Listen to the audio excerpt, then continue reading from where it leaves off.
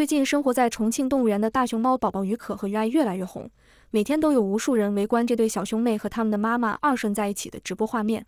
重庆进入夏季，天气开始热起来，这两个小家伙抗拒洗澡的画面也是占据热搜榜的头条。但是你知道吗？于可和于爱这两只小熊也大有来头，他们的爸爸是后肢力量超强，会站起来和奶爸吵架的蔓越莓青青，他们俩继承了爸爸独特的点降唇胎记。他们的妈妈二顺十年前出差加拿大，在多伦多生下一对龙凤胎，所以于可和于爱还有一对哥哥姐姐。结果因为疫情的影响，二顺妈妈没完成十年租约，带着老大老二提前回国了。也正因为这提前的回国，才有了于可于爱这两个调皮的小朋友。本期潮流白皮书就带你来认识于可和于爱，以及他们家庭的故事。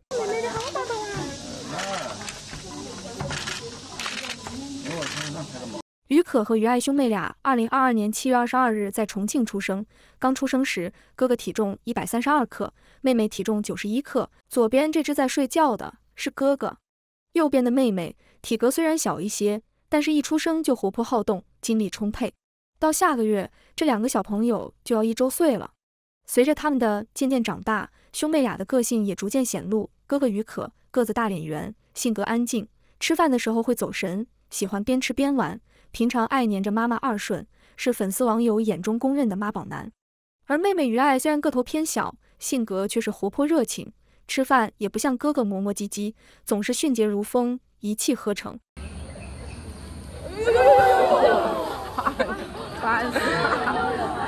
虽然快要一岁了，但是这两只小熊还是离不开妈妈的宝宝。妈妈二顺则是非常好脾气的妈妈，随便两个调皮鬼怎么折腾，孩子要爬树，二顺就提前做好，把宽厚的肩膀拿出来给孩子踩；孩子要玩吊篮，这个妈妈就在一旁保护着，实在不放心的时候，就把孩子带离危险地带。网友都说，真的想要一个像二顺这样的妈妈。而二顺带娃这么有耐心。很有可能是因为他已经有过一次带两娃的经验了。在于可和于爱之前，二顺妈妈就生育过一对龙凤胎，这对龙凤胎也是哥哥和妹妹。二顺是知名的大熊猫亚老二的第二个孩子，二零零七年出生在重庆。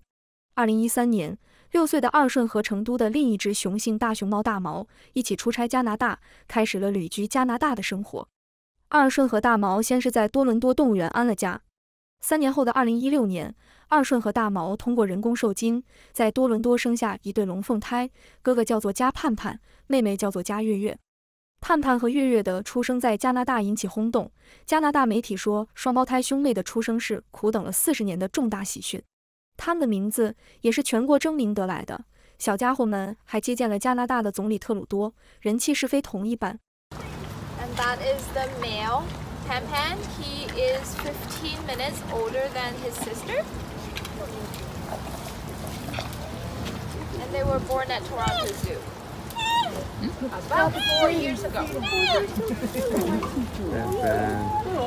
而二顺妈妈则是开始了带娃生涯。双胞胎中的哥哥盼盼性格安静，喜欢黏着妈妈；相反，妹妹月月则是调皮活泼。初为人母的二顺展现出了无比的耐心，母子三人留下了无数快乐的时光。二零一八年，在多伦多住了五年之后，二顺。大毛和已经两岁的加盼盼、加月月一家四口又举家搬迁，从多伦多搬到了加拿大的另一个城市卡尔加里。按照中国熊猫租界的规定，在海外出生的盼盼和月月成年之后要回到祖国，所以在二零二零年的一月，四岁的加盼盼和加月月回到了成都。而按照租约，爸爸大毛和妈妈二顺还要在加拿大生活到二零二三年才能回国。但是没想到的是，二零二零年开始。新冠疫情在全球蔓延，随后更是经历了几年的航班中断、国际旅行受阻的难题，这导致二顺和大毛一直吃的每周空运来的四川老家的新鲜竹子不能及时到达。每周两次的空运中断后，加拿大又找不到可以替代的口粮，二顺和大毛出现了食物短缺的难题。最后，加拿大方面和中国协商，决定提前归还二顺和大毛。I have very very sad news to share with our community that we have to. relocate the panda back home in China. 按照中加两国的协议，这两只大熊猫应该是2023年送还中国。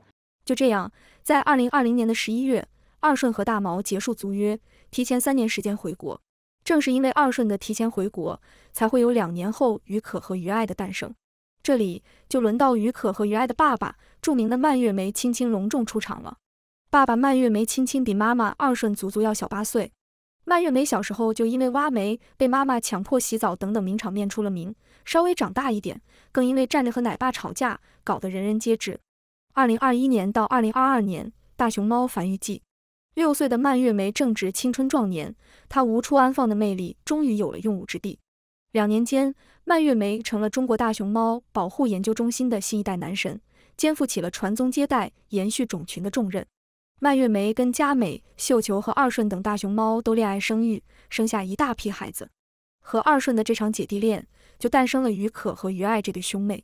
我们所看到的呢，是我们重庆动物园目前年龄最小的一对龙凤胎，于可的于爱。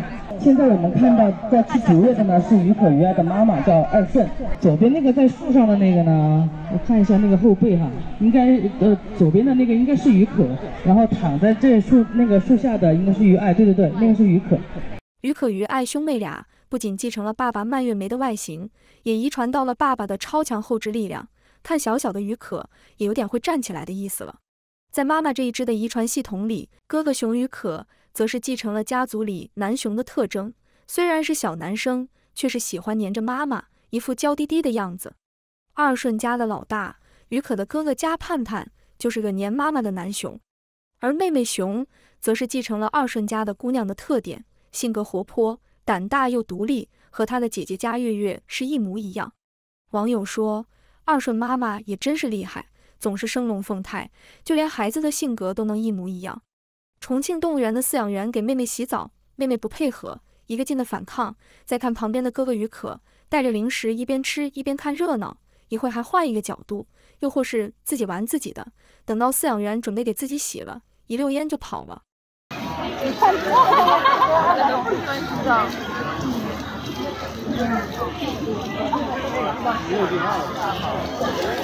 早了。去年，于可、于爱在重庆出生，也是轰动山城的大好消息。他们二零二二年七月出生，到了今年的三月，两个娃娃都半岁了，他们的名字才终于敲定。而这两个娃娃的茁壮成长，除了妈妈二顺的心血之外，还有这位奶妈的付出。我们的话，一共有展出的大熊猫有二十只。然后今天呢，由我给大家简单的科普讲解一下大熊猫的知识。在这个野外的话，我们大熊猫的话，它主要采食的是我们的竹子，还有竹笋。但是在我们圈养的情况下呢，有我们那个饲养员给它准备的金饲料，所以在野外的大熊猫的话，它一般的平均年龄会，嗯，只能存活在二十岁以上左右。然后在我们圈养的情况下的话，它可以存活到三十岁以上。然后大家可以看一下大熊猫平时吃的东西哈，有我们的那个玉米粉，还有那个麦片，还有这些钙片呀，这些黑米粉呐。然后你你们可能最感兴趣的可能就是这个东西，窝窝头哈，来你们闻一下嘛，很香的，小朋友来闻一下。重庆动物园的这位奶妈，因为和于可、于爱的很多互动，被大家所认识。网友说，这是熊猫界最温柔的奶妈。哥哥于可现在这么妈宝，一半是给亲妈二顺宠的。一半就是被这位奶妈宠的，更多人则是表示真羡慕这位奶妈，恨不得能魂穿她，也可以和于可于爱亲亲抱抱。